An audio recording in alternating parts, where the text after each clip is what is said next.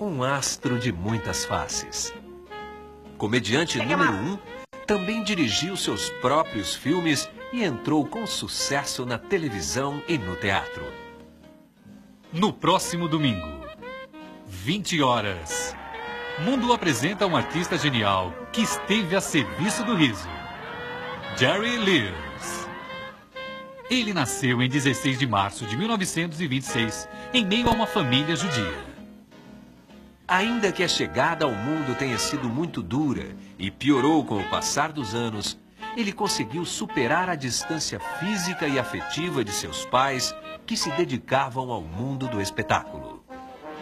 Quando conheceu seu sócio e amigo Jim Martin, sua carreira se consolidou ainda mais. Por todas estas razões, encerrando o ciclo de astros do cinema e da televisão, Mundo selecionou Jerry Lewis como personagem de Biografia da Semana. 69-year-old wacko.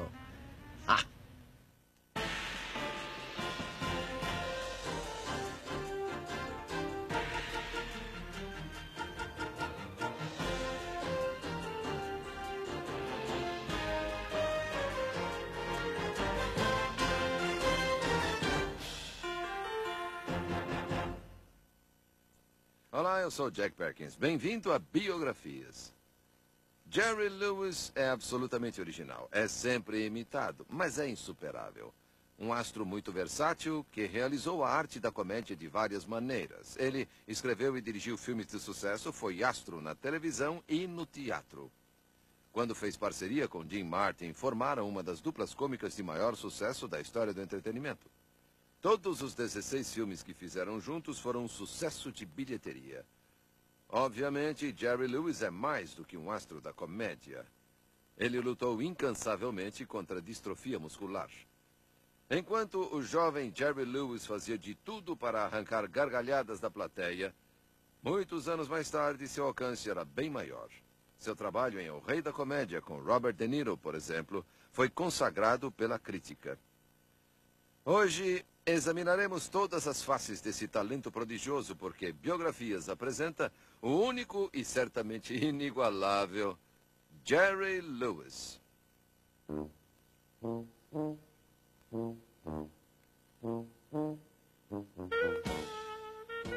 Na religião judaica, os rabinos ensinam que uma criança é o presente mais valioso que Deus pode dar a seu povo. Mas para os judeus russos que moravam na rua 16 em Newark, Nova Jersey, nos anos 30, um novo bebê era apenas mais uma boca para alimentar.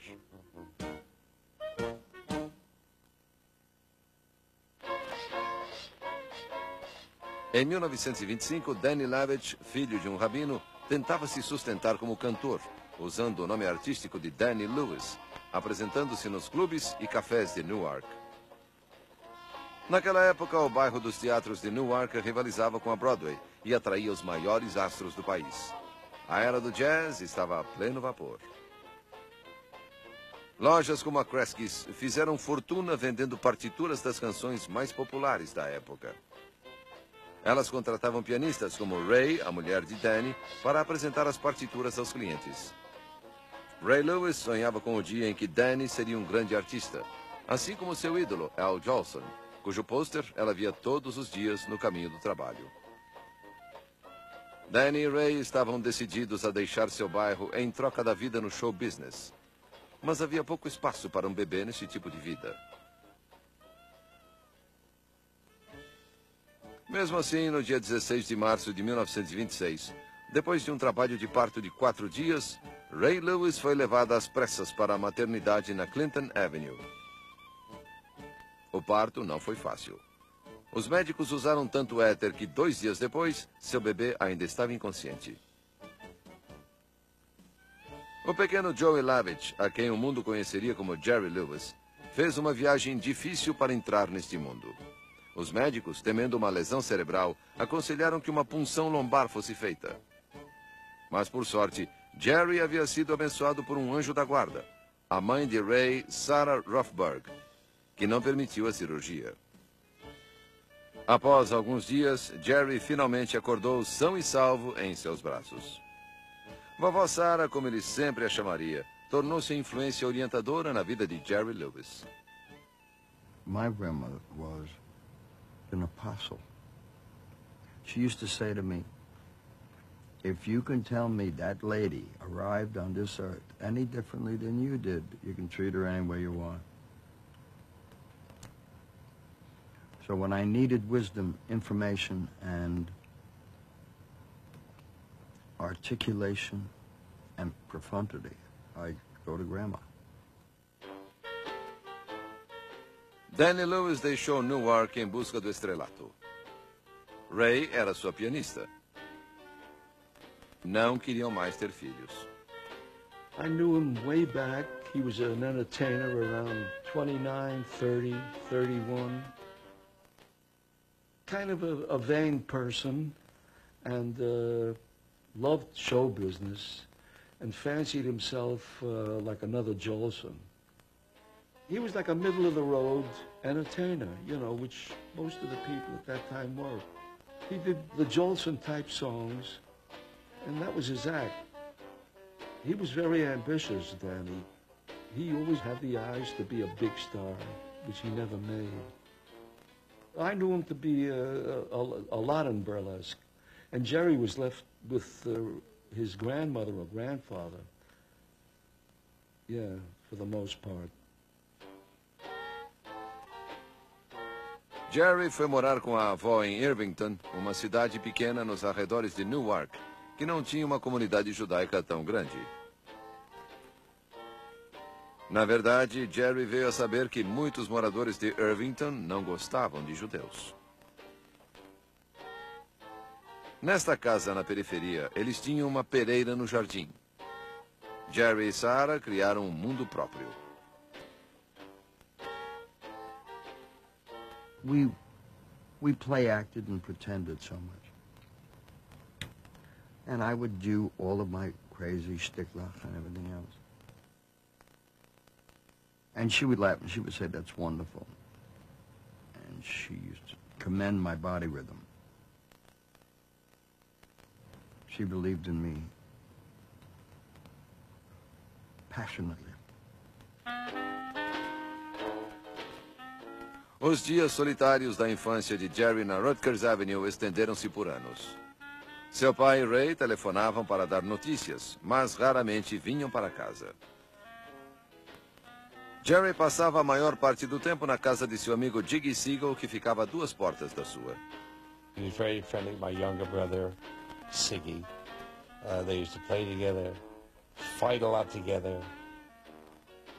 I don't think he had too much fun because he was alone. Most of the time he was with his grandmother. And I guess uh, looking back or thinking about it, probably was because his parents were on the road. Quando os Estados Unidos mergulharam na depressão, milhões de pessoas ficaram desempregadas, sem esperanças para o futuro. Como muitos que foram obrigados a abandonar seus sonhos, Danny Lewis parou de perseguir o estrelato. Para sustentar a família, diminuiu suas ambições e foi trabalhar no Bush Mount, uma cadeia de hotéis judaicos que ia de Nova York à costa de Nova Jersey.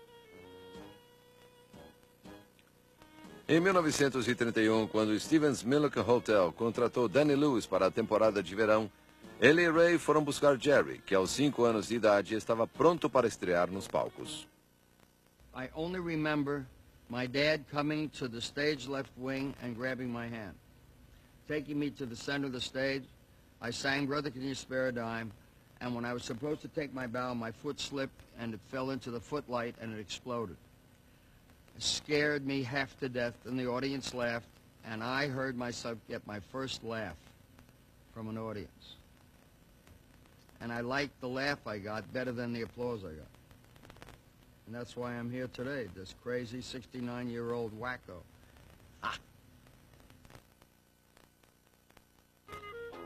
Jerry Lewis nunca se esquecerá do verão de 1931. Foi uma das raras vezes em que pôde passar mais de uma semana com seus pais artistas, Danny e Ray.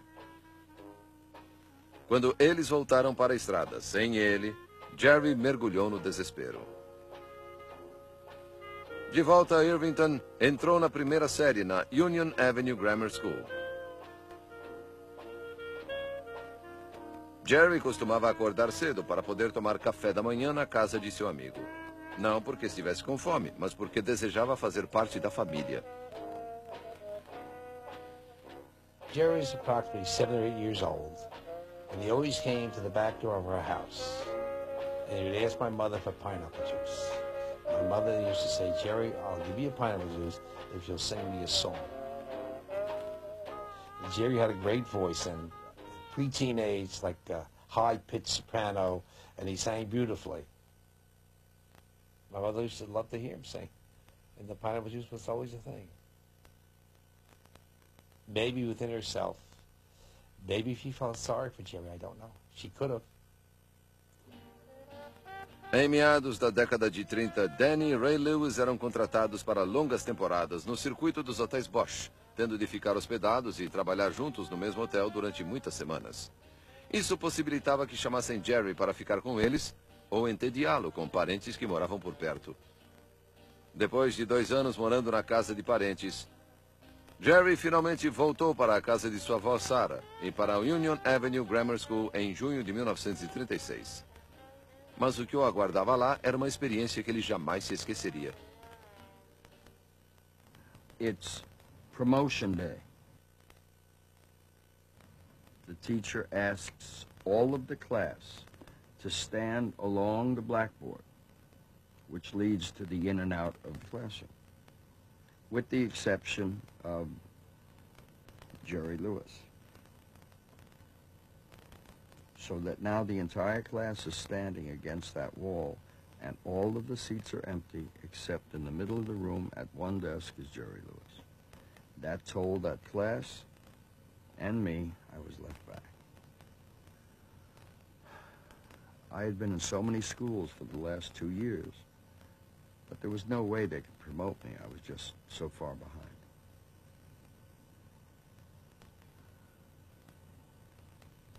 So at the age of around 10, I knew what trauma meant. The humiliation that I felt. Sua avó disse a Danny e Ray, nunca mais façam isso com ele. Depois disso, ele viveu permanentemente com ela e frequentou a escola regularmente.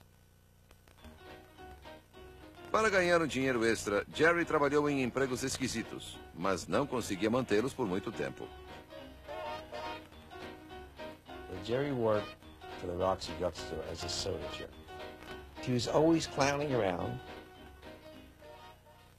He would take the soups of ice cream and just flip in the air and try to catch them.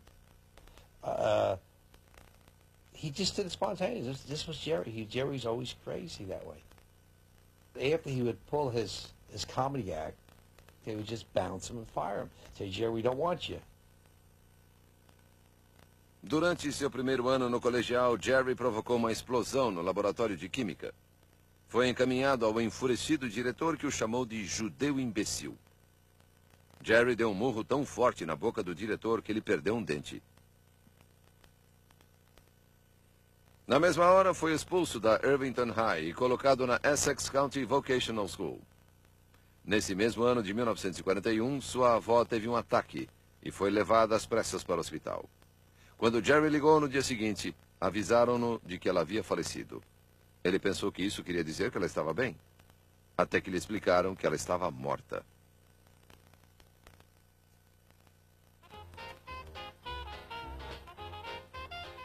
Aos 15 anos de idade, Jerry não tinha onde morar pela primeira vez na vida.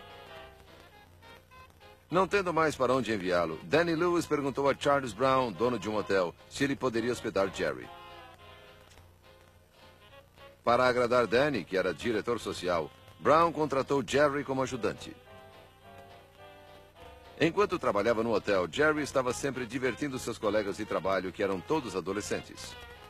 Menos Irving Kay, que tinha 40 anos, era ex-comediante e o mensageiro mais velho do hotel. Ele se tornou o maior fã de Jerry. O primeiro número de Jerry chamava-se Dublagem. No palco, ele dublava as músicas tocadas por uma vitrola escondida. Uma noite, Irving convenceu o dono de um restaurante local a deixar Jerry fazer seu número de dublagem durante um jantar. O público adorou. Danny Lewis era contra Jerry seguir a carreira artística. Ficou tão bravo com Irving por ter encorajado Jerry que fez com que fosse demitido. Mas Jerry lhe deu apoio e convidou Irving para ser seu empresário. Juntos deixaram o hotel. Irving foi para o Brooklyn e conseguiu marcar o primeiro show de Jerry no Lowe's Pitkin, ganhando 11 dólares por noite. Nos dois anos que se seguiram, o jovem Jerry Lewis se apresentou em quase todas as espeluncas da costa leste. Irving Kay, como um pai dedicado, viajava com ele por toda parte. We used to work these military dances, and he was one of the acts. He'd be working like for twelve dollars a night, you know, eleven dollars a night, whatever. And he was crazy. Remember, I used to wear a toupee, and always worried that he's going to pull it off. we got very friendly in those days. No seu 18º aniversário, o serviço militar rejeitou a participação de Jerry na Segunda Guerra. Os médicos descobriram que ele tinha um tímpano furado e um problema cardíaco. Foi a primeira vez que Jerry fez um exame médico de verdade. Longe de ficar constrangido por sua situação militar, ele ignorou o diagnóstico. Então, numa tarde de agosto de 1944, na porta de um teatro de Detroit, Jerry Lewis, aos 18 anos, conheceu uma cantora chamada Patty Palmer. O que ele viu nos olhos dela o fez acreditar que a solidão havia terminado. I was working with Ted Fiorito and his band, and I had on my wedgies, and my hair was pulled back. I was wearing a brown jacket. And Jerry was, I didn't see him until he was on stage. I used to stand in the wing and watch. And here I thought he was Italian because he had such beautiful black hair with a big pompadour, you know. And we met and talked, and, and he took me out to uh, have a pizza one night. And he came in with lipstick on his collar, and I thought, oops. Although we hadn't committed to each other, you know, that time. Patty era seis anos mais velha do que Jerry e sua carreira estava começando a decolar. Jerry a perseguiu implacavelmente. He saw my mother at the theater one day, and he said, I'm going to marry your daughter. And he did. He wrote on, on the mirror, let's fill these. And there was a pair of little baby shoes sitting down on my dressing table. Patty foi para Buffalo com sua banda, enquanto Jerry voltava para Nova York com Irving Kay. Eles se hospedaram no Holland Hotel, a poucos passos de Danny e Ray. O tempo havia passado, mas a sorte estava ao lado de Jerry. Ele tinha uma temporada de três semanas no Glass Hat Club, no Belmont Plaza Hotel. Na tarde da noite de estreia, Jerry estava verificando o pôster de seu espetáculo no saguão do hotel, quando o homem mais bonito que ele havia visto saiu do elevador. Seu rosto era perfeito, exceto por uma pequena cicatriz no nariz devido a uma cirurgia plástica recente. Jerry olhou para o pôster e percebeu que a foto daquele homem ocupava o lugar de destaque do cartaz. Embaixo estava escrito Dean Martin, o primeiro crooner americano. Oito semanas depois, Patty chegou em Nova York para se apresentar no Capitol Theater. Ela tinha acabado de ser contratada como a nova cantora da banda de Jimmy Dorsey. Oh, he used to be starstruck. He'd sit in the back of the Capitol Theater and watch my shows. Then he came to the uh, Pennsylvania Hotel when I was working with Jimmy Dorsey, and uh, used to sit there and watch me and wait for me until I got through, and then he'd take me home. I knew them when they were going together, and then I wasn't at the wedding, but it hurt the mother, it hurt Ray, that Patty was not Jewish. She didn't like the idea of him marrying out of his faith. But that wasn't important to Jerry. They didn't want us to get married because I was a shiksa to start with, and his grandfather was a rabbi. And, um, but we got married. Jerry se apresentou no Glass Hat por mais 16 semanas. Ele e Patty se mudaram para o Belmont Plaza Hotel. Enquanto morava no Belmont Plaza, Jerry costumava ver Dean Martin no café do hotel. Algumas semanas depois, Jerry foi apresentado a Dean por seu velho amigo Sonny King. Eles convidaram Jerry para ir ao quarto de Sonny no Bryan Hotel para tomar drinks e contar histórias. Dean era nove anos mais velho que Jerry e tinha um programa de rádio na WMCA e era a principal atração dos melhores clubes do leste de Chicago. Dean começou como comerciante do Sindicato dos Apostadores de Ohio e chegou a lutar boxe profissional sob o pseudônimo de Kid Crochet. Era casado, tinha três filhos e conhecido no circuito das casas noturnas por sua reputação de mulherengo.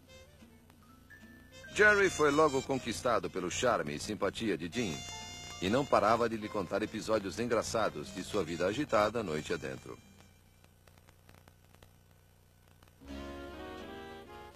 No inverno de 1944, a Segunda Guerra estava terminando. Jack Siegel voltou para a casa da Marinha. Jerry, at that time, was in town. He lived in Lehigh Avenue in Newark. And uh, we just rekindled our friendship. That was a beautiful marriage. Patty was very sweet, pretty. She was pregnant with Gary at that time. Gary Lewis nasceu no dia 31 de julho de 1945. And he said to me, I'll never have one child. I'll have many, but I'll never have one child because I don't want my children feel like I felt being alone. Jerry Lewis ainda não tinha uma carreira sólida, mas tinha algo que sempre quis: uma família. This is what he wanted, and he did it. He acted nine, but he was always 57. He was always very sharp, if you know what I mean. Durante o ano de 1945, Jerry costumava encontrar Dean pela estrada. Às vezes estavam na mesma cidade, ou agendados na mesma boate. The first time I met Dean was at Lindy's on Broadway. Everybody went there after the theater or whatever. And uh, he saw Dean sitting in the front booth. And he went over to say hello to him. And he said, sit down. So we sat down with Dean. And I could see there that he was so happy to be sitting with Dean Martin. Para todos os efeitos, Jerry queria Dean como amigo muito antes de pensar na possibilidade de formarem uma dupla. Em março de 1946, Jerry terminava um acordo de seis meses com o clube Havana Madrid, na Times Square. Ficou tão famoso que os donos da boate lhe ofereceram uma festa de despedida para comemorar o seu vigésimo aniversário. Coincidentemente, Dean também estaria se apresentando naquela noite. Jerry convidou Jack Siegel e sua esposa para a festa. Dean was the headliner because he had a great voice. And while Dean Martin was out there singing, Jerry came backstage, mimicking him. Whatever Dean Martin did in front singing to the audience, Jerry was doing crazy things behind him. He was making gestures like Dean Martin had a, he went like this, had nose surgery, and, and he's absolutely hysterical, hilarious. People just flipped. Em julho, Jerry se apresentou em Atlantic City, na maior boate da cidade, o 500 Club. Pertencente à máfia da Filadélfia e gerenciado por Skinny DeMotto, o clube era famoso por seus frequentadores mafiosos. O emprego pagava o suficiente para Jerry trazer Patty e Gary com ele. I saw his first show, and the male singer on the bill was not very good. So they needed another singer, and Jerry said, I know somebody. Dean chegou no 500 Club no dia 25 de julho. Jerry contou a Skinny que ele e Dean haviam feito muitas coisas engraçadas juntos. Então a boate apresentaria um número cômico junto com o cantor. The first show they did together wasn't very funny, so the boss said, hey, you be funny. So Jerry started carrying trays of dishes and glasses and making them fall. And well, anyhow, they became a team that night. And after that, you couldn't get a seat in the club. Nos fins de semana, o público fazia filas imensas para vê-los. After the first night he was on a stage with me, I knew we had lightning in a bottle. He was just hoping to get through the two weeks so we could pay a car payment. Os bons tempos começaram. Dean e Jerry eram um sucesso onde quer que se apresentassem. Irving Kay ainda era o empresário de Jerry e integrante permanente de seu séquito. Nunca ocorreu a qualquer dos dois contratar um escritor de piadas, pois ninguém poderia ser mais engraçado para eles do que eles mesmos. Em março de 1947, eram a principal atração do Capitol Theatre. Esses foram os dias mais felizes. Dean e Jerry alcançavam o alto da escada do show business e as grandes oportunidades surgiam. Sua fama e amizade cresciam.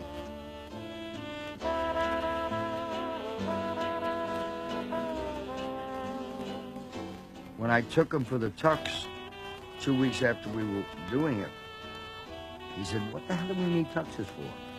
I said, because before the end of a year, we're going to be making around 5,000 bucks a week. He said, you're fucking crazy. You're nuts. We're going to go and spend 300 apiece for tuxedos. I said, trust me. Let's just do it. We're going to have to look like what they're spending. And in less than six months, we were getting 5,000 Em outubro, era uma principal atração do Copacabana, o clube mais famoso do mundo.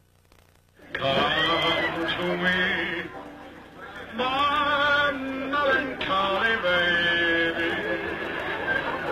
Can I check my rubbers, please? Now, why don't you leave him in the car like the rest of the boys do?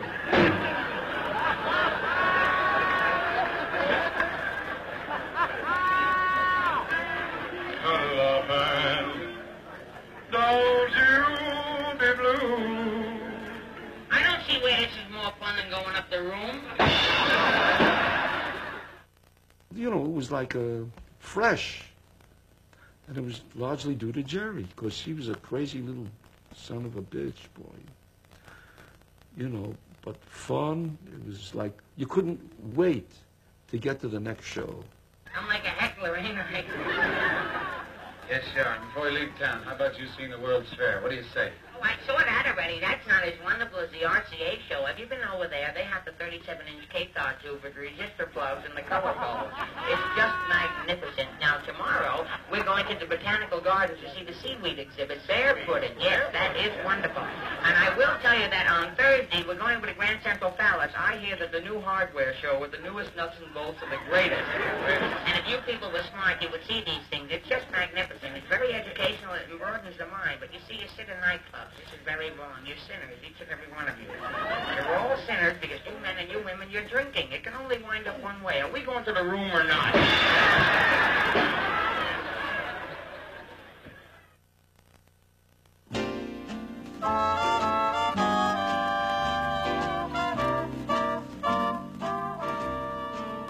Jean e sua mulher Betty tinham três filhos e esperavam o quarto.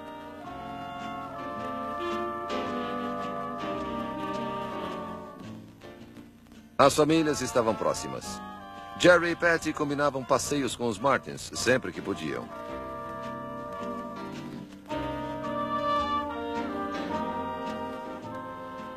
Esperavam que Jim passasse mais tempo com Betty e as crianças, já que agora tinha condições financeiras de estar com sua família.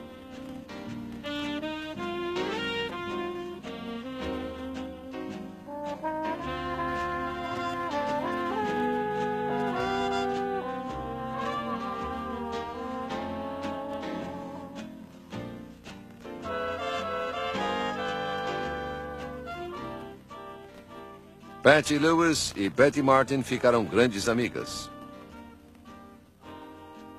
enquanto que seus maridos eram praticamente irmãos.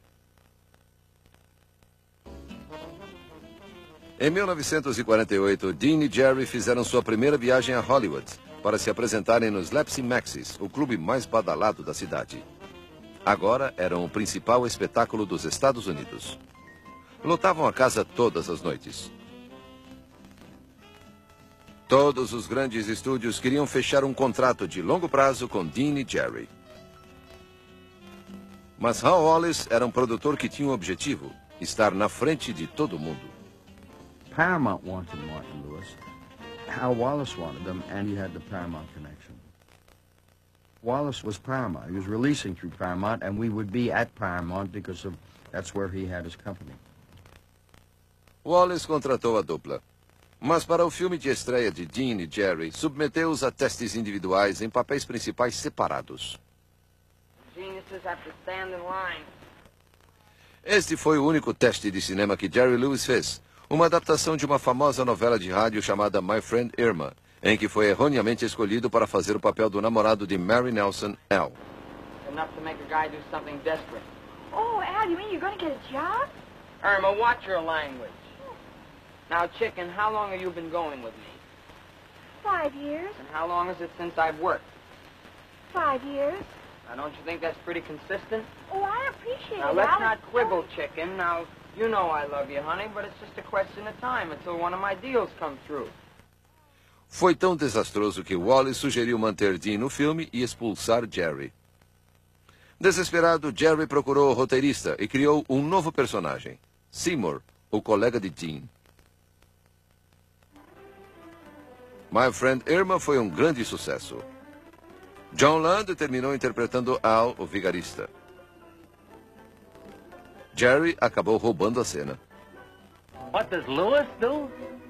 Can't describe him, Joe. Got to see him to believe him. What's this? A male seal. Uh, a female seal. Uh, both together. Uh, uh. A baby seal. Uh.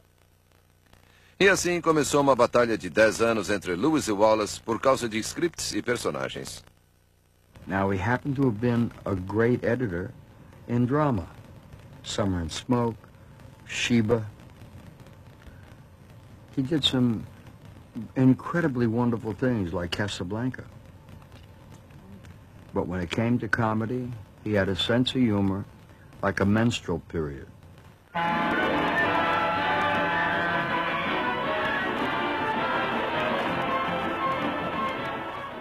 Wallace, logo após My Friend Irma, fez My Friend Irma Goes West.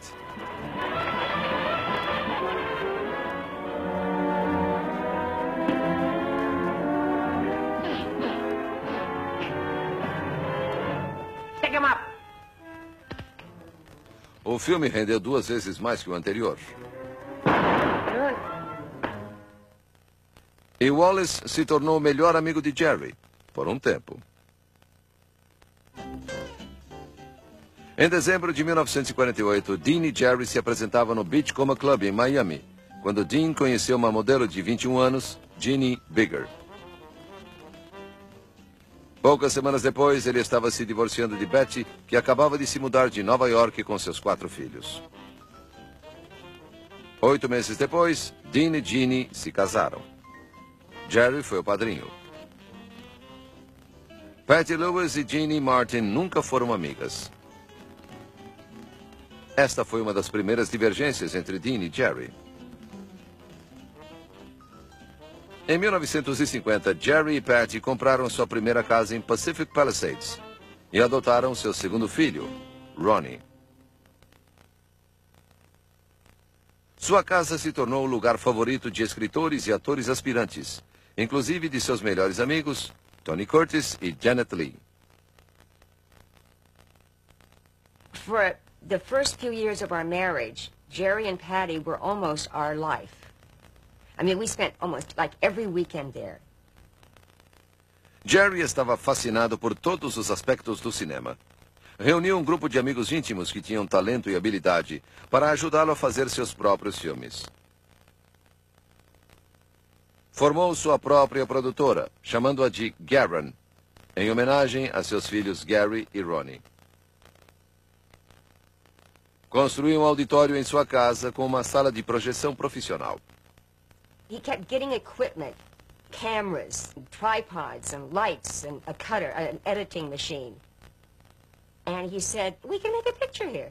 You know, and we said, yeah, why not?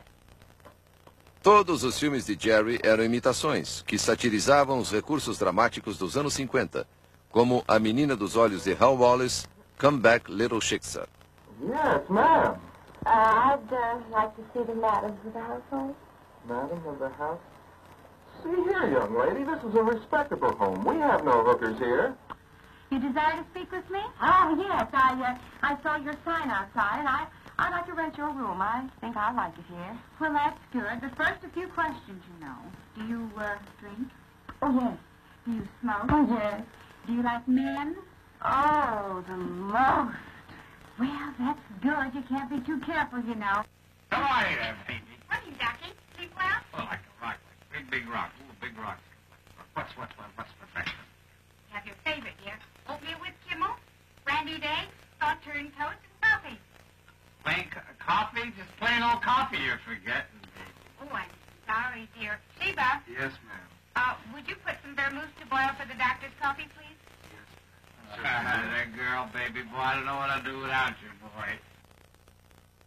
O término dos filmes de Jerry era comemorado nos moldes das grandes festas de estreia, recepcionadas por Jerry e seus amigos.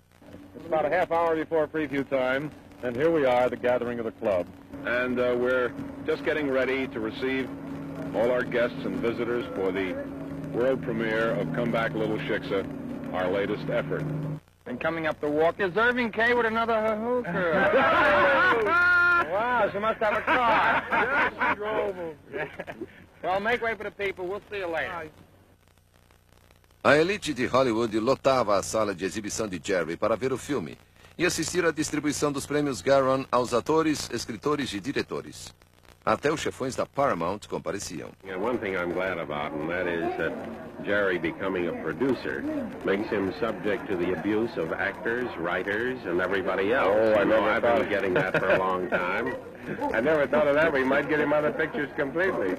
Well, uh, ladies and gentlemen, this is the stars. These are the stars of uh, my production, Come Back Little Shiksa. I should say our production, Garon.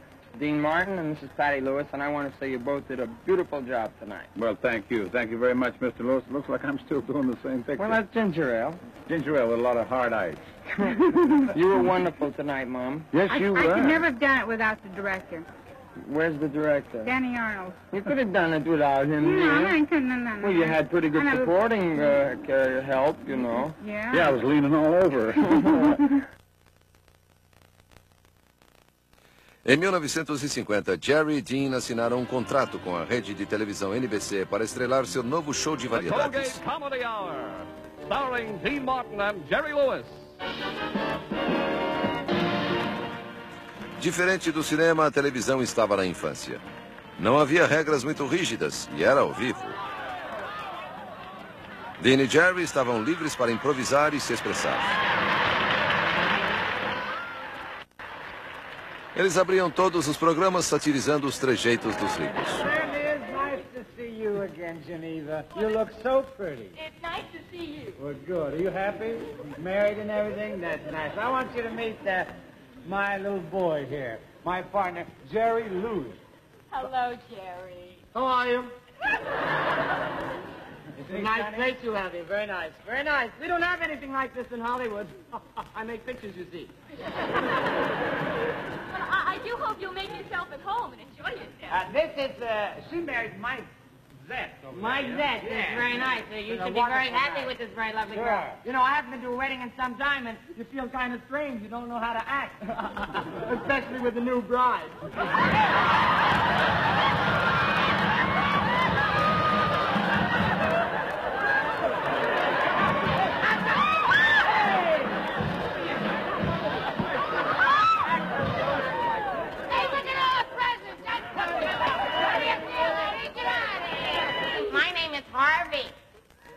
O show sempre contava com a ajuda generosa de Jerry, o garoto do momento. Hey, could I hang around with you? Uh, could I be with you fellas? Uh, just to be in the gang? I mean, let, let me just be with...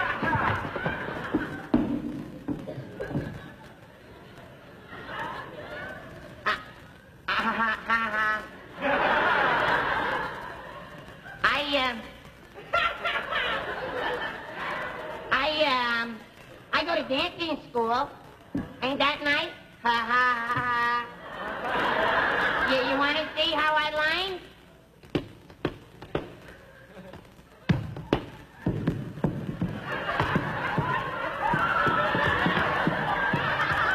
And, and I play hopscotch too. So we can forge over.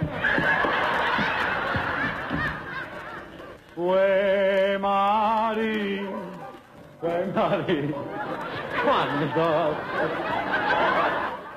Milhões de pessoas que não podiam pagar para ver Martin e Lewis no Swank agora podiam vê-los mensalmente na televisão de graça.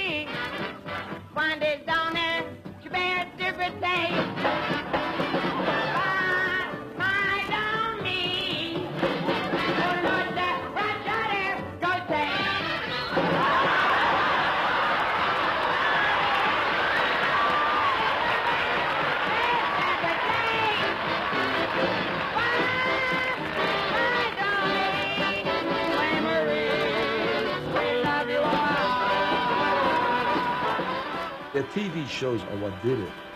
Those Colgate shows. You know, they came from out of nowhere, these guys. They were like nothing, and all of a sudden, they're the biggest things in the country. You've been wonderful. We love you all, and we hope we can see you at the Paramount July 4th for two weeks. Good Goodbye. night. God bless you all. Goodbye. No dia 4 de julho de 1951, Dean e Jerry estrearam no Paramount Theater, na Times Square.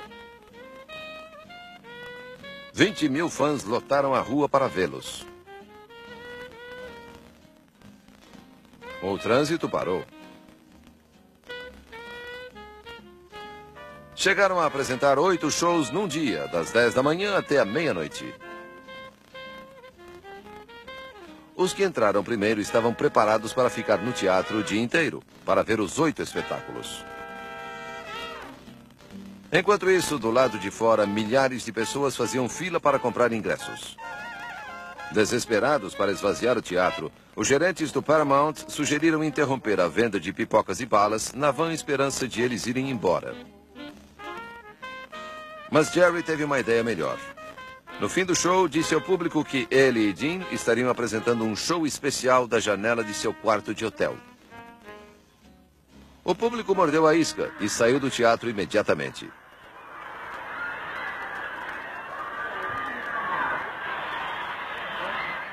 Jerry e Dean não só se apresentaram para a multidão, como distribuíram fotografias autografadas, roupas e até mesmo dinheiro. Jerry jogou mil notas de um dólar pela janela durante a primeira semana.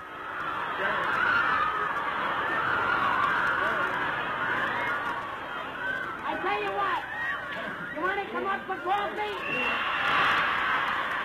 We ain't got any. Everybody in for coffee now.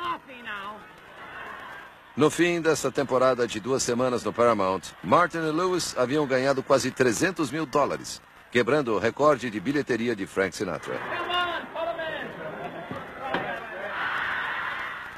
Agora, os Estados Unidos não conseguiam mais se cansar de Martin e Lewis.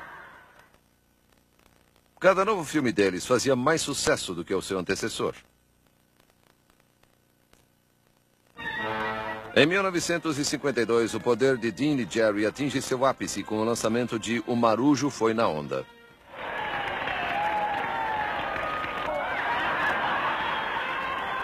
Jerry, you know you're a real killer, especially with the girls. Now, what's this terrific attraction you have for them? Maybe it's my voice. No, Jerry, it's not your voice. I think it's that dance of the Hawaiian luau that did the trick.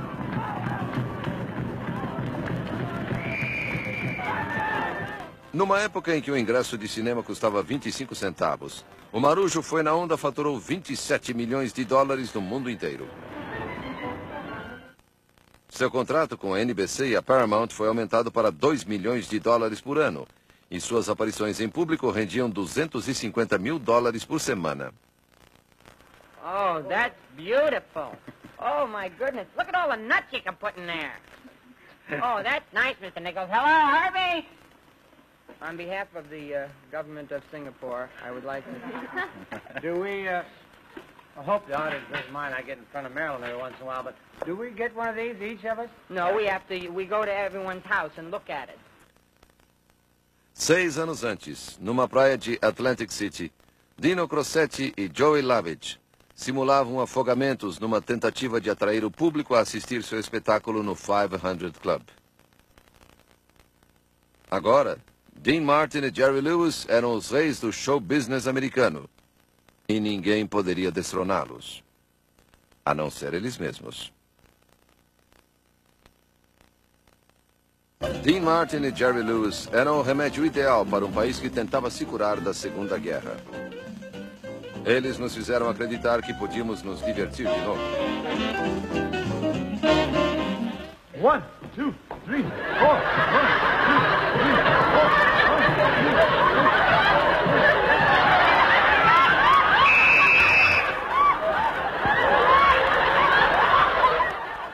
Em 1948, Jerry Lewis disse a um jornalista de Hollywood: Tudo o que fazemos pode ser feito por qualquer ator, e até melhor. Mas o que sentimos um pelo outro, ninguém pode imitar. Não há dois homens tão amigos quanto nós. Well, that's certainly a pretty big dummy. Yeah, you can know how big a dummy he is.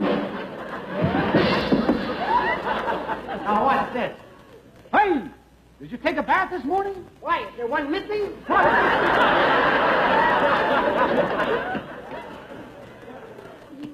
Na verdade, era pela relação que eles tinham um com o outro que os americanos se apaixonaram. Huh? Well, you'll never get anywhere with that thing. Why not? Yeah. You've got to get something that looks human. Keep stepping out. I'm sorry, you know.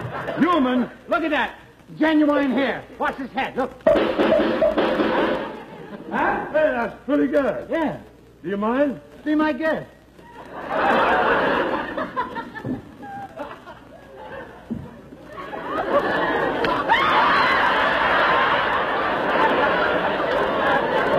Lift him up. Lift him up. Yes, sir.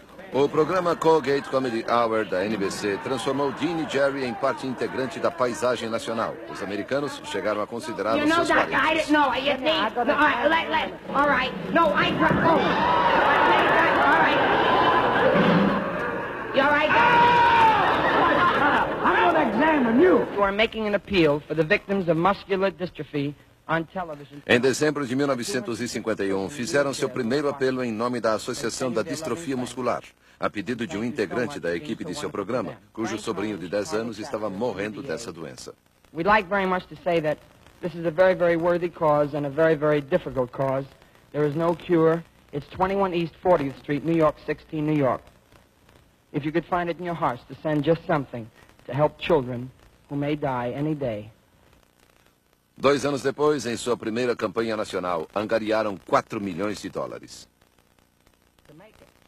Dean e Jerry tinham a fama e a fortuna que qualquer pessoa desejaria ter, mas ela teria seu preço. Pouco a pouco, o produtor Hal Wallace assumia o controle de sua vida profissional. Wallace estava convencido de que os fãs adolescentes de Jerry eram a chave para o grande retorno às bilheterias. Ele passou a aumentar os papéis de Jerry e a diminuir os de Dean. Em 1954, Wallace inicia a produção do próximo filme de Martin Lewis, O Rei do Circo. O personagem de Dean só aparece na página 31 do script, meia hora depois do começo do filme. What they didn't understand was they couldn't have seen me if he wasn't there. He was the spine of the whole act. I was fighting Wallace on it. I said, you can't have him come in 30 pages into the script. Humilhado, Dean disse a Hal Wallace que não iria fazer o filme. Na primavera de 1954, comentava-se nas colunas de fofocas que Dean e Jerry iriam seguir caminhos diferentes. Well, don't walk too fast or too far, 'cause I want everyone to Well, hear. maybe I can lose you. Dean e Jerry planejaram aparecer no programa Person to Person para anunciar publicamente que haviam se separado. Morrow. Dean, uh, you fellows must have had some high and low points in your partnership. What would you say has been the team's greatest single success? Well, uh, as a single, I was never a success. But I must say, uh, in all seriousness, that uh, as a single success, uh, Jerry and I, to me, when Jerry and I met at the 500 Club in Atlantic City about eight years ago, we woke up one morning and we found we were a team. That's all. That's the success I think we have. So few people realize that Dean and I have had probably one of the greatest Damon and Pythias associations that any two men have ever had, and we were entitled to have the one beef that we did have in eight years, but it cleared the air beautifully, and uh, we like one another pretty much. That's, that's obvious, even from a distance of 3,000 miles. Is that where you are? Yeah. Oh Boy. Reatados, Dean e Jerry dedicaram-se à promoção nacional de seu novo filme, A Farra dos Malandros. O filme estreou em Atlantic City no oitavo aniversário do primeiro show de Dean e Jerry no 500 Club.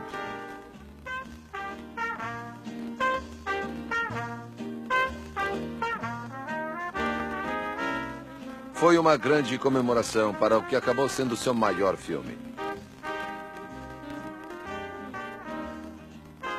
Janet Lee compareceu.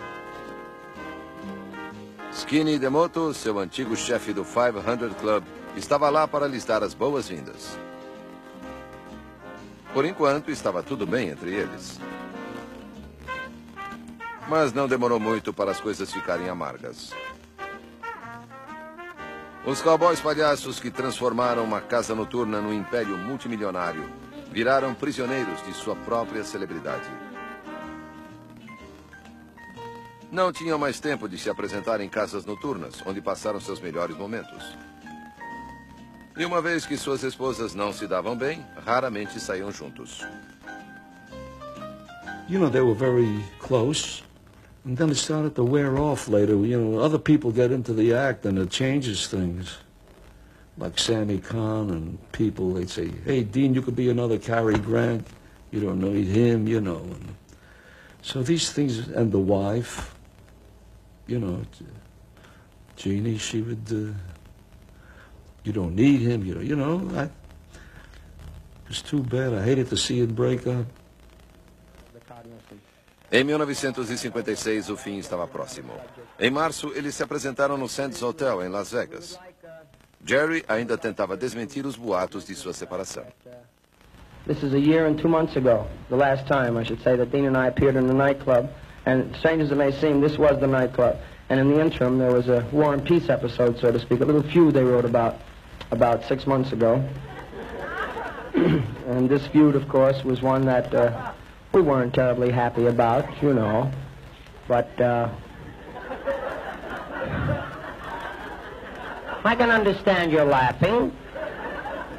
But uh, when you think about it, it's a nice thing because it was Dean who admitted I was wrong. O anúncio oficial foi feito no dia 19 de junho de 1956, quando Luella Parsons declarou em sua coluna que Martin e Lewis iriam se separar após um show de despedida no Copacabana. It took tremendous strength on his part to take a back seat to this idiot. And he took it for 10 years. No dia 25 de julho de 1956, Martin e Lewis apareceram juntos pela última vez. Fazia exatamente 10 anos que Jerry e Dean se apresentaram pela primeira vez em Atlantic City. You know, it was the end of an era. Very sad. Jerry wept. He broke down and it was like, you know, a, like a, a, a tragedy in his life. Depois do show de despedida no Copa, Jerry voltou para Pat e as crianças, trêmulo e desesperado. Jerry didn't want to lose Dean. He, he loved him very much. Duas semanas depois, Jerry e Patty estavam em Las Vegas em férias, quando o marido de Judy Garland ligou para seu quarto de hotel. Judy estava com laringite e queria que Jerry a substituísse no Cassino Frontier naquela noite. Era a primeira apresentação de Jerry sem Dean Martin em mais de 10 anos. What did it feel like? Well, guts I've always had. You do what you have to do. But the only way I can describe the fear is you have to try to pull your top lip over your head to get some idea of what the fear was like. Then to walk out with that fear and see what you could do after being with a partner for 10 years and everything we did was pretty well regimented. Jerry pediu para Judy ficar no palco para o público poder vê-la. Apesar de ela não poder falar, pelo menos ele não estaria lá sozinho. So I said to the conductor, I said, how does Judy get off when she finishes her act? He said, she sings rockabye. I said, play it. I sang it, stopped the show cold, and I was in a recording studio three days later. I made rockabye, and it sold over seven million copies.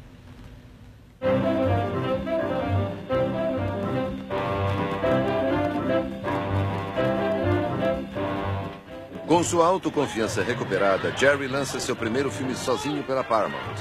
O Delinquente Delicado faturou 7 milhões de dólares, provando que Hall Wallace estava certo ao dizer que era Jerry e não Dean quem vendia o filme.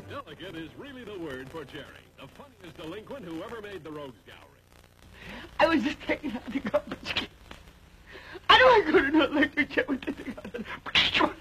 Oh, that's terrible. Jerry saiu em turnê para promover o filme. Depois de mais de 20 anos, ele visitava Irvington e a Union Avenue Grammar School, onde havia sido reprovado na sexta série. when Irvington, New Jersey wanted to make a Jerry Lewis Day. And the population of 63,000 turned out for the parade. And the Board of Regents of the school were honoring me at a luncheon. I said, I'd like to talk to the Board of Regents. I told them the story and what I went through. And the promoting process changed that day. They never ever did it again. That was the upside. The downside is that I'll never forget it. It hurt. Yeah. And that's why you do comedy, kid. No auge da carreira, morando na mansão de Bel Air que pertenceu a Louis B. Mayer, Jerry tornou-se um recluso que só confiava em sua mulher e em seus filhos. The house, in a sense, was a sanctuary. It was his one place to run where he didn't have to deal with the realities and the problems of the business. To us, he was always dad. But as a child, to see him on a screen, a television, or, or in the theater, he all of a sudden became bigger than life, just as he did to, to any other viewer or fan. And there was always that disparity between the father we knew at home and the famous individual on the screen. Hi, Ed. How are you? Evening, Jerry. When did you get in from Las Vegas?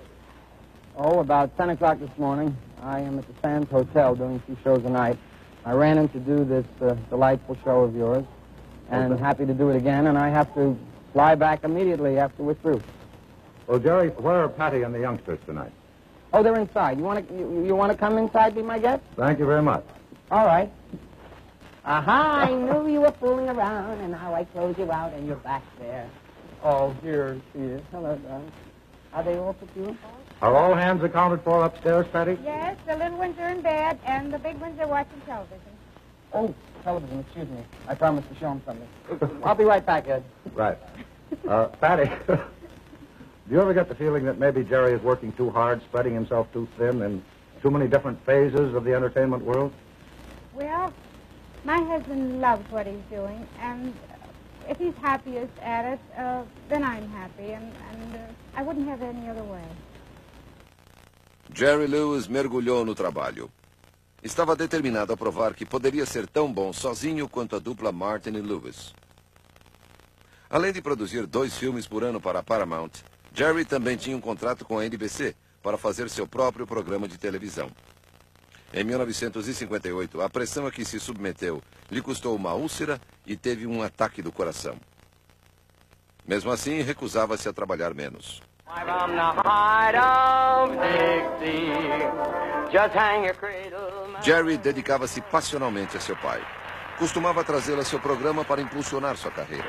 I would ordinarily get terribly upset at someone interrupting on the show, but uh, this is my father, Mr. Danny Lewis, ladies and gentlemen.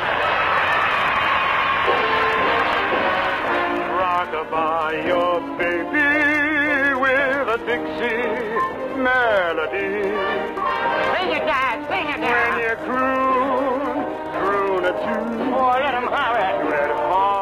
Ninguém sabe dizer como Danny Lewis se sentiu quando seu filho vendeu 7 milhões de discos de uma música que ele havia cantado milhares de vezes.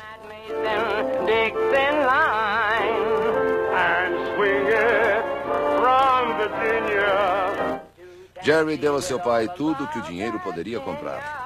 Mas por mais que tentasse, não conseguia lhe dar a fama que tanto seduziu Danny Lewis ou sua mulher. Para o seu aniversário de 50 anos, Jerry deu a Danny um carro feito sob medida pela General Motors. I paid $100,000 to have that four-door sedan made. And in 1958, that's a lot of money. I put red ribbons around. I drove it to his house. I went up to the door, rang the bell. Said, happy birthday, Dad, look. And he said, it's not a convertible.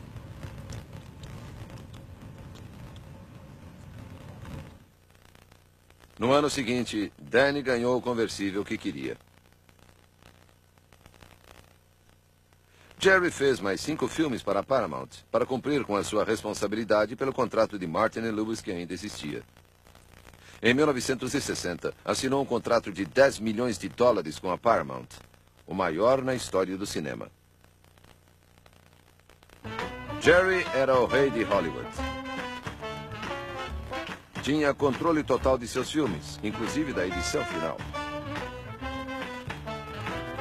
He had this contract where he had complete autonomy, and he could make any picture he wanted up to a million dollars in cost. So he, that was his game. His heart and soul was in the picture. Being a comic, he, you know, finish a take and he'd run around and dance and do his thing and fall, you know. I think it was temperamental and nervous and crazy and all those things that make him, made him wonderful. Jerry conseguia transformar um teste de cor numa cena. What's your name, young fella? Harvey Neck. You realize you're in Hollywood now? Yes, I got off the bus uh, noon. I came in from Newark. Newark, what's, uh, where in Newark? Uh, in Jersey. Are you going to be an actor? Well, they tell me if I can clear up my skin. What's wrong with your skin? Well, it has things on it. Well, how'd you get those things? From girls kissing. You mean kissing with lips and nice kissing? Oh, yes, there's this one girl I've been going with, Ralph. And, uh, actually, that's, that's the big problem, you see. I'm really very in awe of all of this. This is showfolk, Tinseltown. Could I meet Ruby Keeler? Os estúdios da Paramount eram o seu parque de diversão. Ele tinha passe livre em todos os lugares. 368-1. Na busca pela perfeição, ele se envolvia com todos os aspectos da produção. I'm spending a fortune, and the grass comes up, and you can see the floor. See the floor? That's grass, and it's a floor.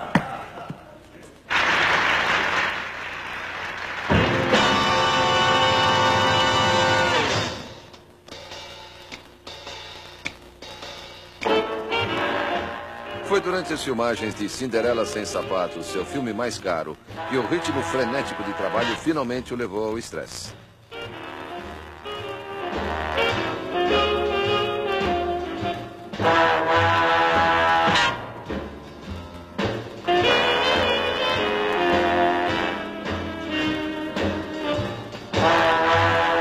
went to match for the dance. I'll never forget it and I'll never forget you.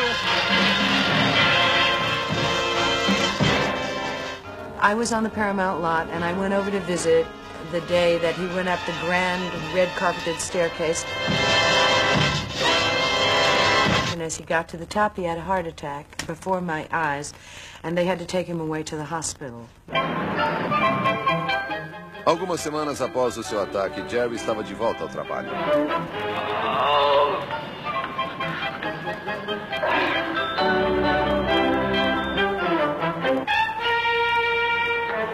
He seemed kind of superhuman to be able to survive all that he did and keep going. He'd get so excited about ideas that he'd he'd go without sleep and uh, just work and work and work. He was a workaholic. Em março de 1960, Jerry havia concluído Cinderela Sem Sapatos. A Paramount queria lançá-lo imediatamente naquele verão. Mas Jerry sabia que era seu melhor trabalho e queria esperar para lançá-lo no Natal. He says, if I give you another movie to release in the summer, will you hold Cinderfella? And they said, uh, Jerry, it's December or wh- whenever it was. It was quite late, January perhaps. And uh, they said, how are you going to do that? He says, I'll do it. I'll promise you I will do it. I will deliver you a movie. And uh, they said, okay. And he started writing The Bellboy. The Bellboy, filmed completely in fabulous Miami, where Bellboy Jerry turns the fantastic Fontainebleau Hotel into his own private madhouse. He wrote it and directed it and starred in it. There was no plot, zero plot, no dialogue for him. Jerry filmou O Mensageiro Trapalhão em três semanas e ainda conseguia fazer apresentações à noite na boate do hotel. De lá, Jerry foi para o Sands Hotel em Las Vegas. Durante sua temporada de três semanas, num quarto embaixo de seu camarim, Jerry terminou a edição de O Mensageiro Trapalhão. I didn't get a credit on it, but he gave me a lot of credit personally to other people that he helped me and he did this and he did that. So when the next picture came up, he said, how'd you like to write it with me? And that was The Ladies' Man. All kinds of people told him he couldn't do it. Experts, of course. He built a three-story building on C.B. DeMille's soundstage, and they built it precisely as you do a mansion. And what was different about it was this. He had every single room lit specifically for the idea of using it on a camera. And they were all on dimmers. So you could bring up one room, put six down, do two. An unbelievable technical achievement. Secondarily, every room in that mansion was rigged for sound. Frankly, I believe with that film, Jerry established for me a career that I probably would not have had without that film.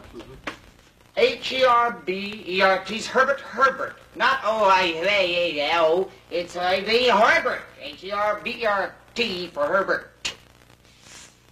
Herbert is to have his breakfast. I'll see to it. Herbie.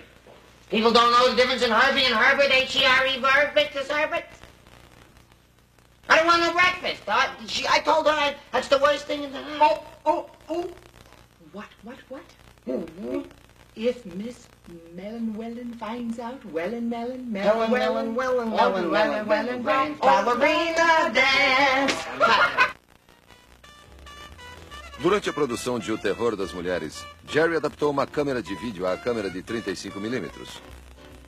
Assim, poderia assistir imediatamente a cada tomada.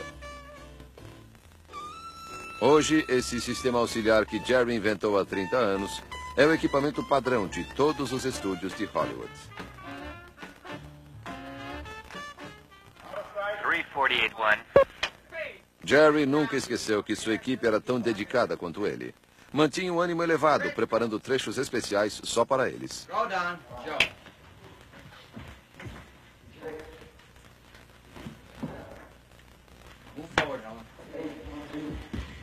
I love you, I love you.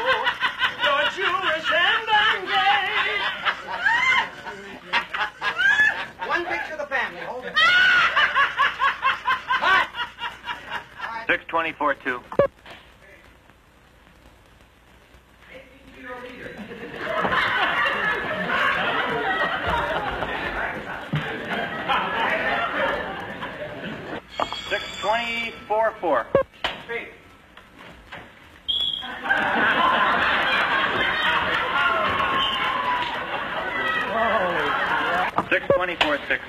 Six. Em troca, a equipe facilitava as coisas para ele.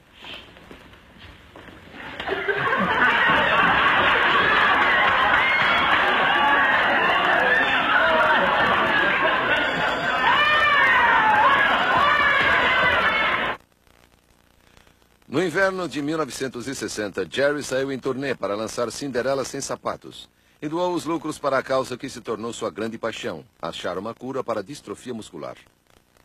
A glimpse of the real reason he brought himself and his new movie to Chicago. The first of several appearances intended to spotlight public attention on the disease that is a crippler of children and on his picture's premiere to benefit this worthy cause. Jerry voltou para Hollywood a tempo de sua extravagância cinematográfica anual, O Natal na Casa dos Lewis, 1960. Christmas was another shoot. There was sound on film, 16 millimeters set up in the living room. There were lights, there was playback, and it was a staged affair. We did retakes. Christmas was more staged than others because of the uh, just because of the set, so to speak. But uh, the cameras were always rolling.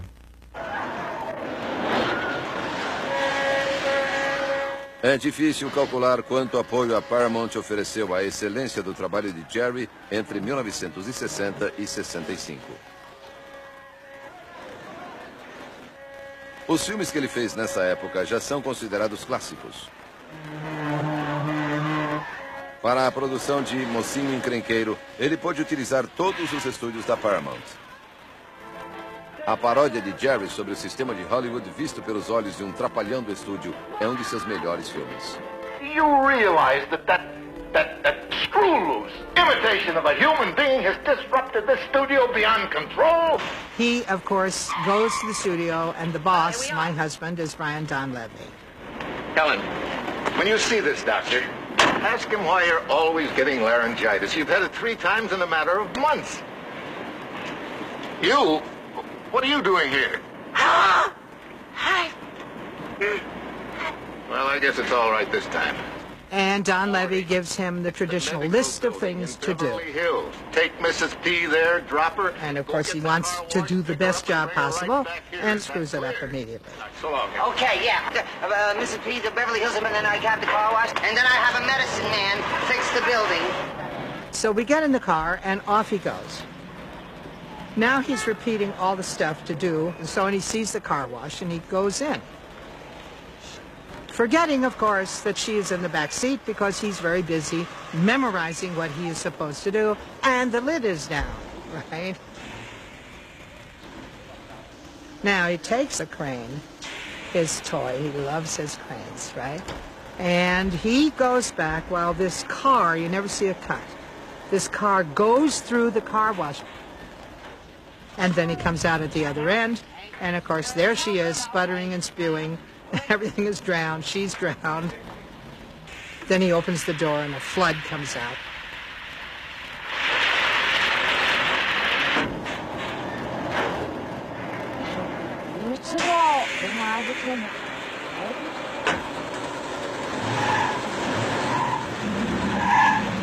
That's one of the best jokes ever made on film. And I'm in it, and that just thrills me no end. Try this. Ah.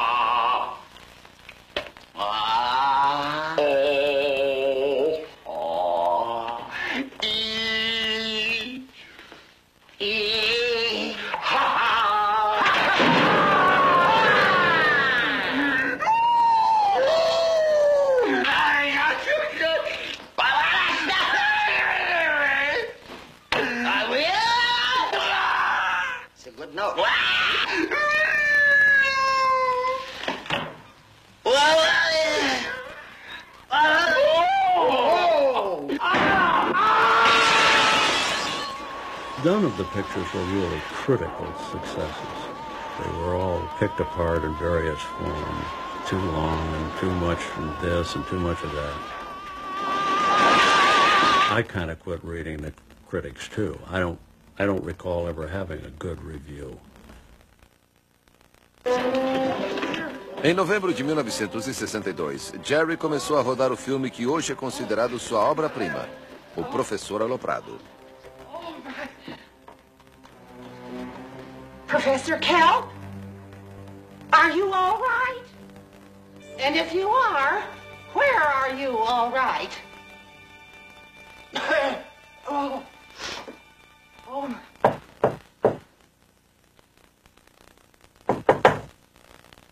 Oh. Oh.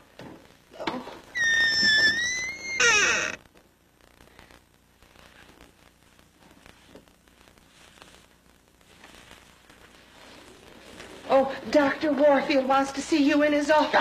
Dr. Warfield? Yes, right away. I use too much. We were doing a Nutty Professor, and it came time to shoot Buddy Love for the first time. He set up the shot, exactly how I was going to do it, camera here, camera there, I'll make the entrance here, and I'm waiting outside the dressing room door. Very unusual, he wouldn't let me in. And the next thing, from inside the dressing room, he yells, roll 'em! And he came out of the dressing room as Buddy Love and looked at me, and I was just stunned. I almost fainted. I would have probably stopped it. I would have said, this is, you look like you're nuts. Of course, in retrospect, people love that character. He didn't feel comfortable with the character of Buddy Love because people compared it with an imitation of Dean Martin, and that was not what he was trying to do. He was trying to do something that never had been done in a monster movie before, and that was to make the monster a more good-looking and beautiful person than the person who created it. And so Professor Kelp, the poor little thing that was so sensitive and thought he was so ugly or homely or bad-looking, didn't turn ugly and mean like a werewolf. He turned to slick and beautiful Buddy Love.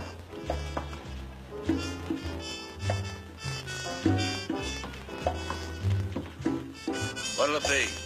Aw, that's no way to talk. What'll it be? That's no way to treat a customer. Come here, try it like this. Pay attention. You'll feel better and the customers will be happier. Try this. What'll it be? Mm, try that. Come on, we haven't got all night. Try it. What'll it be? Mm. Good. That was wonderful. Did anyone ever tell you you couldn't sing? Nice. Make me an Alaskan polar bear heater on a double. Come on, come on. Jerry ficou tão absorvido por Buddy Love que costumava levá-lo para casa. We didn't know how to relate to him. It was difficult to relate to him as dad, much less as as this person in strange makeup who, who was very ominous. The appearance was ominous, and so were his actions. Oh, please, Mr. Barroom Brawler. Don't hurt me or anything like that.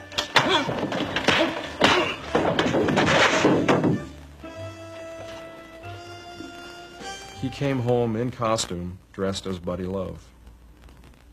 Well, when he'd come home, uh, we knew the car was in the driveway, and he, his keys would clink on the table, and then he'd whistle, and it, all, everybody ran, ran to the door. But when he came home in a bad mood, I said to the kids, "Scatter! Don't come in." And the mayor house was such that, being 16 or 17,000 square feet, you could go two or three days without seeing a sibling. So there were lots of places to hide, and we did. And, uh, you know, when the storm cleared, we'd, we'd come out. Enquanto isso, na Paramount, Buddy Love começava a assustar os executivos do estúdio. Did you see a polar bear heater? All right, pay attention. Two shots of vodka, Shots of vodka. a little rum, Little rum.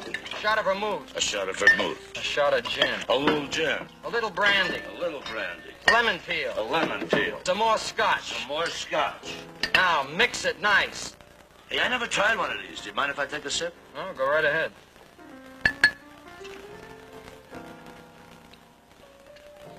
Not bad.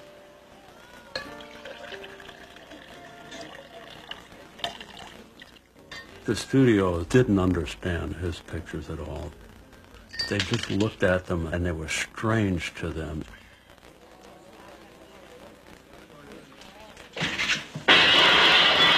Even the Nutty Professor, they looked at the Nutty Professor and they thought, gee, this isn't terribly funny. As the co-writer of these pictures, I had to attend some of those meetings and defend the picture. You know, Jerry said, you talk to them. I mean, they're a bunch of morons. You talk to them. These stupid people, they called them every name in the book. I don't think they knew what they had. They, would- and, and I think he felt that way too. 270, take two.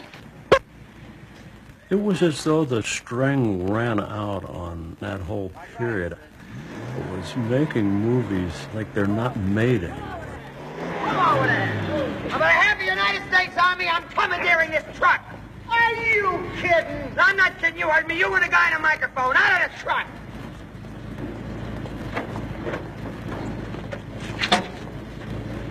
No. We put things on the paper and shot things only because they just made us laugh. Don't worry. Everything's okay. Not somebody coming around and saying, well, I mean, it is funny, but don't you think uh, it, it's not real? Or don't you think it would be better if you're...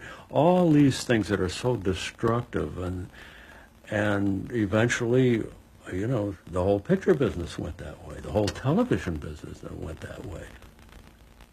Em 1965, depois de fazer 33 filmes no período de 17 anos, Jerry Lewis deixa a Paramount.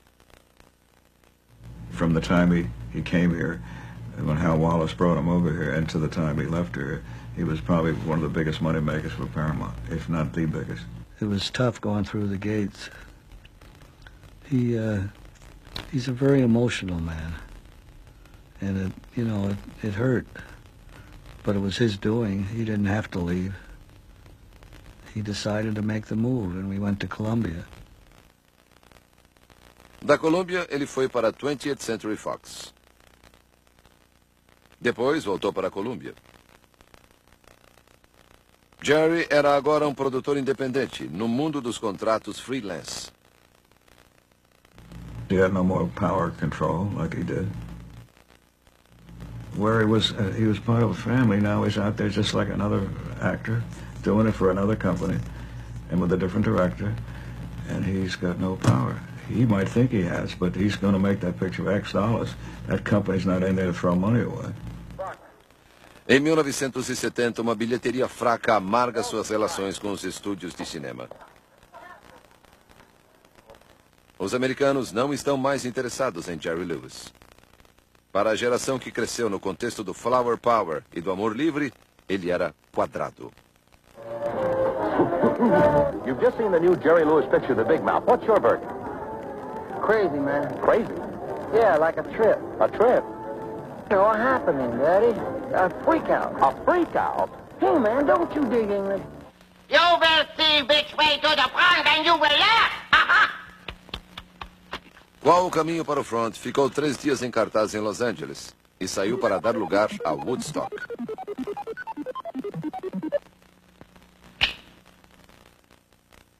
Após cinco anos como produtor independente e sete tentativas decepcionantes, Jerry Lewis parou de fazer filmes.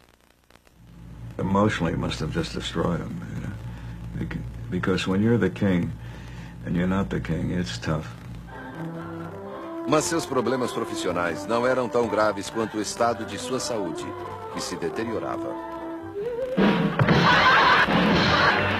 Desde os primórdios com Dean, Jerry era famoso por suas quedas.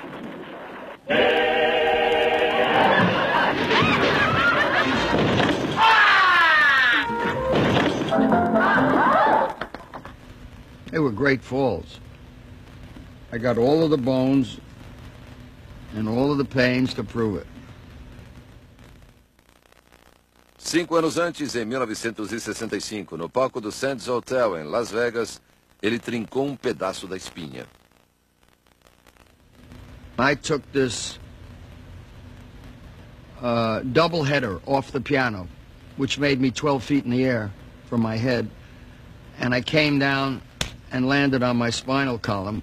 Well, they, he, he took one of those pratfalls and just lay there. And he couldn't get up. Well, they closed it down and they carried him out. They prescribed Percodan, but they prescribed one a day. I was up to 13 a day after seven years. That's when I became addicted. Assolado por problemas profissionais, financeiros e físicos, Jerry continuou trabalhando. Em 1971, foi para Estocolmo para estrelar uma produção internacional chamada O Dia em que o Palhaço Chorou. Ambientado num campo de concentração nazista, o filme conta a história de um palhaço que tem permissão para viver desde que divirta as crianças ali aprisionadas. Algumas semanas depois de começarem, o produtor saiu. Jerry assumiu a responsabilidade de terminar o filme com seu próprio dinheiro, mas o filme nunca foi lançado.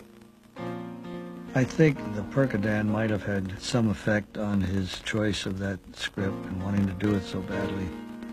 I can't uh, speak for him, but it's my opinion that that probably had a lot to do with him going there and being so intent on finishing that film.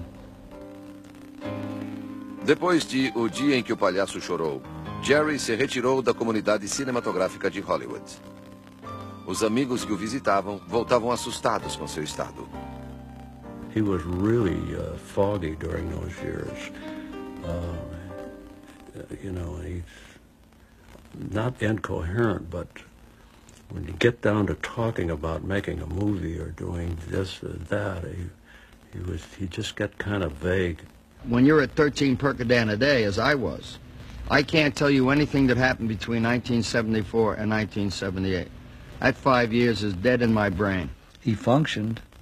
I mean, it was it was difficult for me to function with him, to try to make sense out of some of the things that were happening. But uh, he he did a lot of you know he did his tours. He he worked. He did his telethons. Jerry nunca permitiu que suas desventuras atrapalhassem seu trabalho em prol da Associação da Distrofia Muscular. Apesar de sua própria saúde debilitada, ele aumentou a duração de seu programa anual beneficente para 21 horas. Jerry transformou o Teleton num desfile de astros americanos e internacionais transmitido ao vivo via satélite de Las Vegas para centenas de canais de televisão do mundo todo. No, there will be no practicing on my time here. What are you, crazy? A man's got to sing something.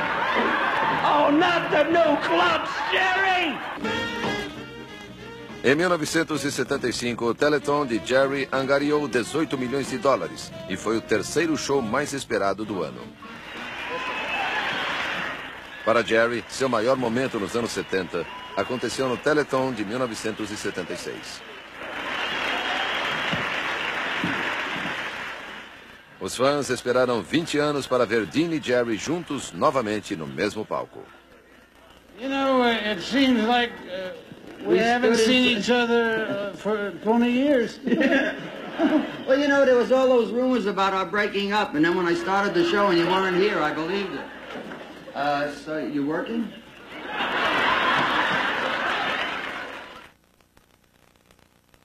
Em 1978, Jerry é indicado para o Prêmio Nobel da Paz por seu trabalho para a Associação da Distrofia Muscular. Naquele mesmo ano, Jerry estava em Houston visitando seu velho amigo, o cardiologista Michael DeBakey, quando desmaiou no hospital. Dr. DeBakey took me into, into a clean out, put me out for 44 days. And when I awoke, I awoke reborn. Cleaned me out perfectly. And I've never taken anything but maybe an Advil since then. That was 1978 when I got cleaned out. Watch out, America! Jerry's back!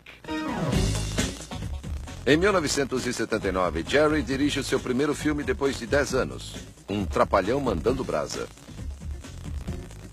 Um Trapalhão Mandando Brasa faturou 55 milhões de dólares no mundo todo, mas naquela época Jerry estava falido e teve que repassar a sua participação nos lucros aos credores. Após 38 anos de casamento, Jerry e Patty chegam ao fim de sua vida em comum. Eles se divorciaram em outubro de 1982. Oito semanas depois, Jerry é levado às pressas para a sala de emergência do Desert Springs Hospital de Las Vegas. Ele havia tido um forte ataque do coração. It was tough. He came out of it okay, and I feel foolish sitting here. But it still affects me.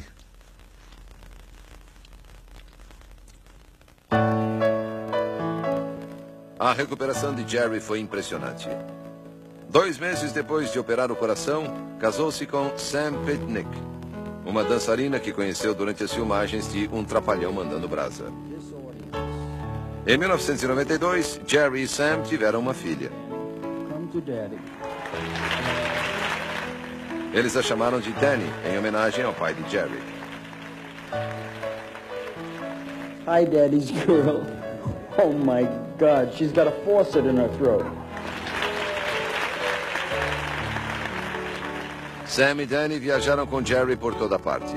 Seus amigos dizem que elas lhe deram nova vida. And that's the whole purpose of this program. Em 1995, Jerry fez uma volta triunfal e realizou um sonho antigo. Estrelou um musical da Broadway. Cannibals. Jerry um dia explicou que a vida não era engraçada, que era preciso pensar nas coisas para torná-las engraçadas.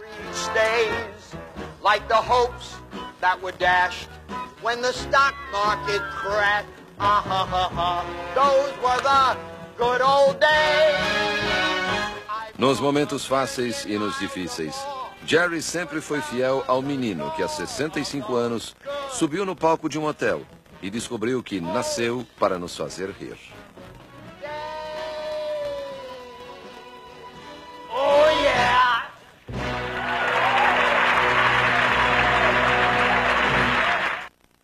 Jerry Lewis enfrentou seus demônios. Alguns de seus filmes fracassaram na bilheteria, programas de TV foram cancelados e alguns espetáculos nunca aconteceram. Ele sobreviveu ao divórcio, a uma cirurgia cardíaca, a câncer na próstata e anos de decadência, mas conseguiu sobreviver. Há momentos de seus filmes e espetáculos que sugerem que o melhor de Jerry Lewis ainda pode estar por vir. Este é Biografias e eu sou Jack Perkins. Até a próxima vez.